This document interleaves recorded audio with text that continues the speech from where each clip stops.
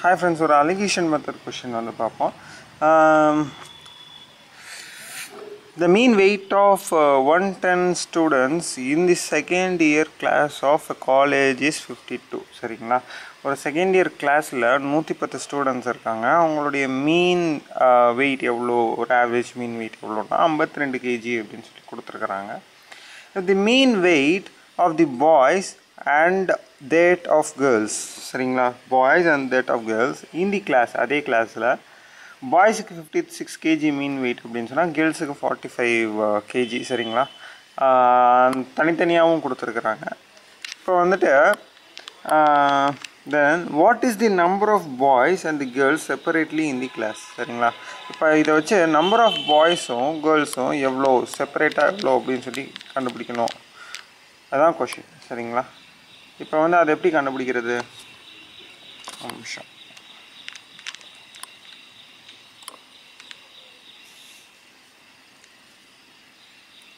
Fine இது வந்து ஒரு அலிகேஷன் மெத்தடில் வந்து நம்மளால் கண்டுபிடிக்க முடியும். சரிங்களா?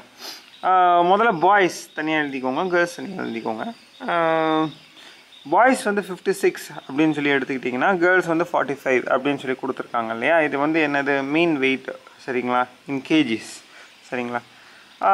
அப்போ இவங்க ரெண்டு பேர்த்துக்கும் ஓவரால் மீன் வெயிட் எவ்வளோ அப்படின்னு சொல்லி கேட்டாங்க. பாய்ஸும் இதுவும் சொல்லி மேலே கொடுத்துருந்தாங்கல்ல நூற்றி பத்து ஸ்டூடெண்ட்ஸுக்கு ஐம்பத்தி ரெண்டு கேஜி அப்படின்னு சொல்லி கொடுத்துருக்காங்க. ஒரு மீன் வெயிட் ரெண்டு வேல்யூஸ் கொடுத்து அதோடைய மீன் வெயிட் கொடுத்தாலே அதுக்கு வந்து ஈஸியாக அலிகேஷன் மெத்தடில் ப்ராப்ளம் பண்ணிட முடியும். அதுக்கு தான் நான் அந்த கொஷின் எடுத்தேன்.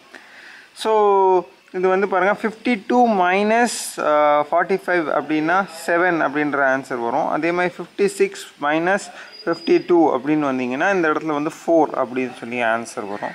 ஸோ இந்த வந்திருக்கிற ஆன்சர் என்ன அப்படின்னு சொன்னீங்கன்னா செவன் இஸ்டு ஃபோர் அப்படின்ற ரேஷியோ தான் வந்திருக்கிற ஆன்சர் இதுதான் வரும். சரிங்களா? ஸோ நீங்கள் இதை அப்படியே எடுத்துக்கணும். ஸோ இந்த பக்கம் கண்டுபிடிச்சிருக்கிறது பாய்ஸோடைய ரேஷியோ இந்த பக்கம் கண்டுபிடிச்சிருக்கிறது வந்து கேர்ள்ஸோடைய ரேஷியோ சரிங்களா? Seven is to four boys versus girls இந்த ரேஷியோ வச்சு எப்படி நீங்கள் கண்டுபிடிக்கலாம்?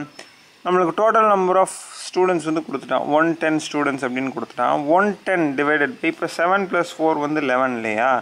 One ten divided by eleven அப்படின்னு நீங்கள் பண்ணிங்கன்னா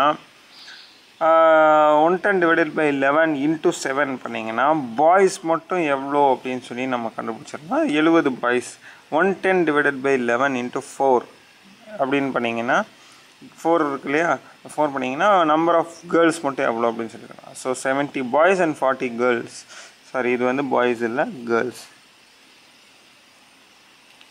அப்படின்னு சொல்லி நம்பர் ஆஃப் பாய்ஸ் அண்ட் கேர்ள்ஸை வந்து கண்டுபிடிச்சிடலாம். இந்த மாதிரி டைப் ஆஃப் கொஷின்ஸும் அலிகேஷன் மெத்தடில் வந்து கேட்பாங்க. Uh, தேங்க்யூங்க